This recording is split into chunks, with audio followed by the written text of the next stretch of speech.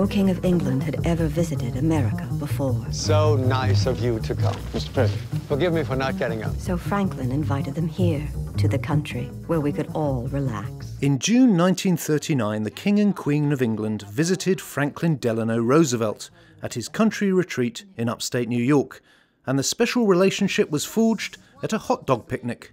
This is the backdrop for Hyde Park on Hudson, a tale of the president's bedroom antics and front porch diplomacy. It stars Bill Murray, Olivia Colman, and Laura Linney. She's obviously his mistress. Look over there. The secretary. They'll see us.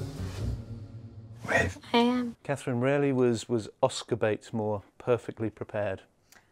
That's that's a little unfair, I think, because actually, um, and and I've been unfair in this as well because I implied in an earlier review that they were dragging themselves along by the coattails of King's Speech, whereas in fact this was in production before and uh, a happy stroke. I bet it didn't help with it. It's probably speeded up the production a little. It might have. It? it might have. I think it. Yeah, I think it's been. I think it's been a mixed blessing for them because actually, you know, this was sort of, you know, a few months ago, one did sort of have quite high hopes of this for as a as an Oscar contender.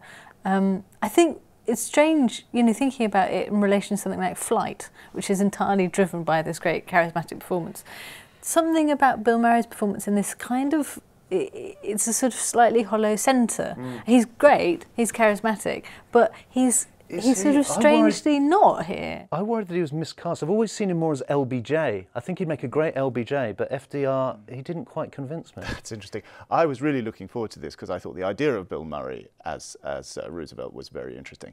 But the thing about Bill Murray is that when he's great, he's really great, but sometimes he just phones it in, and I'm afraid that's sort of what he was doing here. I mean, he looked the part, he carried it off, mm. but I got the impression his mind was sort of on something else all the time. Uh, and that's a weird thing that only Bill Murray can do, and he that's what you get with the great man. Um, he does have one fascinating scene early on, though. well, he? he? does, and if only the movie had been all about that kind of thing. The, the, the, problem with the movie is it's split between the royal visit, his relationship with the royals, and his relationship with his mousy, sensitive, uh, distant cousin. Daisy, played by Laura Linney. And there's a very, very interesting, difficult, painful scene where she has to be sort of intimate with him in a car. And I, when I saw that, I thought, wow, this is, you know, this is, she's, it's like she's like an abuse victim. You mm. know, he's like really taking advantage yeah. of his office, surely. You know, this is Monica Lewinsky stuff, isn't it? But then the movie just goes into kind of nostalgia, sentimentality mode, entirely unearned.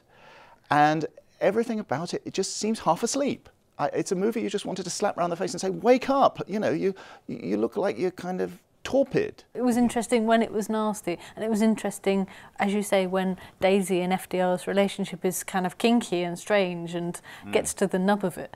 Um, whereas, you know, when it sort of, it, that never kind of came to anything. It never kind of exploded in the way you hoped it would. I don't think the problem was with the direction at all. I think it was just the material. I think it was the screenplay. It just, it just needed work. I just mm. needed, they needed to decide what is this movie about? Mm. What, what is this film about? And I never got a clear answer to that question. Although, as Catherine says, there are interesting, sharp moments, especially when uh, Queen Elizabeth, played very well played by Eliz Olivia Colman, says, you know, these people don't like us.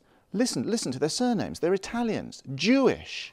You know, my goodness, that's quite, you know, considering what we know about Elizabeth's apparent sympathy for appeasement, she comes across as a sour meanie, much nastier, interestingly, than Helena Bonham Carter, mm. Helena Bonham Carter's version mm. in, in, the King's Speech.